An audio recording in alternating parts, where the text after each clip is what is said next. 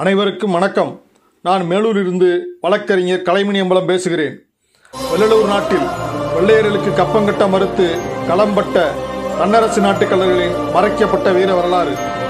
கிபி ஆயிரத்தி எழுநூத்தி அறுபத்தி நாலு அக்டோபர் மாதம் பதினைந்தாம் தேதி மதுரையை ஆண்ட யூசுப் கான் என்ற கான் சாஹிப் மருதநாயகம் வெள்ளையர்களால் தூக்கிலிடப்பட்டவுடன் மதுரை பகுதி ஆற்காடு நவாப் ஆங்கிலேய ஆட்சியின் கீழ் முழுமையாக வந்து சேர்ந்தது.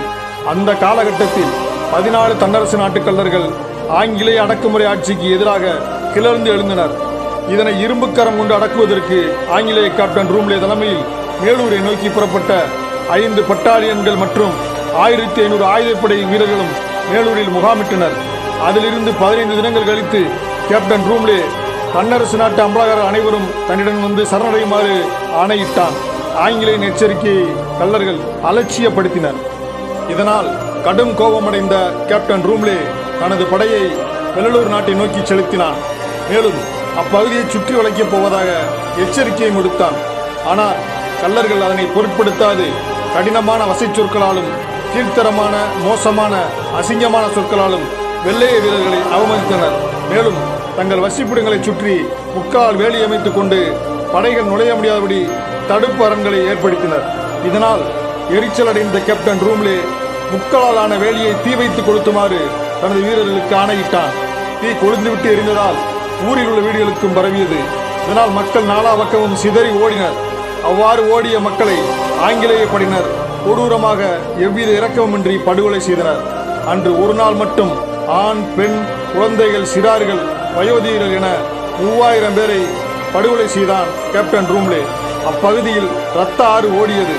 கள்ளர்குல தலைவர்களான நாட்டு அமலாளர்கள் கைது செய்யப்பட்டு மேலூர் கொண்டு செல்லப்பட்டனர். இக்கொடூர படுகொலைக்கு பிறகு மேலூர் தன்னரசு நாட்டிற்கு முகமது கோலி என்பவன் அமிழ்தாரராக வரி வசூலிக்க ஆங்கிலேயர்களால் நியமனம் செய்யப்பட்டான். அவன் ஒரு அதிகாரியையும் பத்து உதவியாளர்களையும் மெல்லூர் நாட்டு கிராமங்களுக்கு அனுப்பி கப்பம் வசூலிக்க முயற்சித்தான். இதில் கடும் கோபமடைந்த கள்ளர்கள் ஒரே இரவில் அந்த பதினோரு பேரையும் படுகொலை செய்தனர். இதை அறிந்த அமிழ்தார் முகமது கோலி பல கிராமங்களை தீக்கிரையாக்கினான்.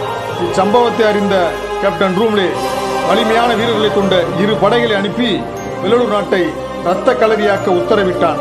இத்தாக்குதலில் மீண்டும் இரண்டாயிரம் கலர்கள் கொடூரமாக படுகொலை செய்யப்பட்டனர் இந்திய விடுதலை போராட்ட வரலாற்றில் கப்பம் கட்ட மறுத்ததால் ஐயாயிரம் கலர்கள் படுகொலை செய்யப்பட்ட வரலாற்றினை ஆங்கிலேய அதிகாரி டன்புல் என்பவர் கிபி ஆயிரத்தி எண்ணூத்தி பதினேழில் முதல் முதலில் தனது நூலில் பதிவு செய்தார்.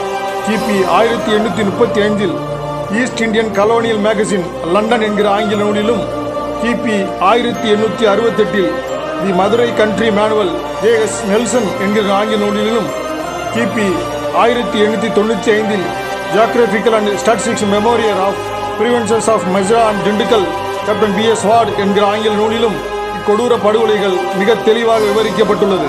வரலாற்று ஆய்வாளரும் பேராசிரியருமான டாக்டர் கே ராஜயன் தனது ஹிஸ்டரி ஆஃப் மதுரை என்ற நூலில் பதிவு செய்துள்ளார். அதன் பின்பு ரெண்டாயிரத்தி பதினொன்றில் வரலாற்று ஆய்வாளர் திரு சுந்தர வந்தியத்தேவன் தனது பிரமலைக்கல்லர் வாழ்வு வரலாறு என்ற நூலில் பதிவு செய்துள்ளார்.